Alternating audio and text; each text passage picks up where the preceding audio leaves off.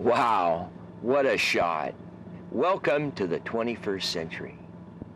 Hello everyone, I'm the Doc, the GhostNet guy of Washington State, aboard the little boat, the Intense. Now this is not just any boat, this is a custom twin hull, 15 foot with stainless steel strips placed on the bottom to protect the hull when I'm in these rocky areas surrounded by pilings with nets attached to them that tribal fishers have lost. And these nets continue to fish, killing the seabirds that are hung up on these pilings where I have to cut them free, and also our endangered sturgeon, the green and white sturgeons.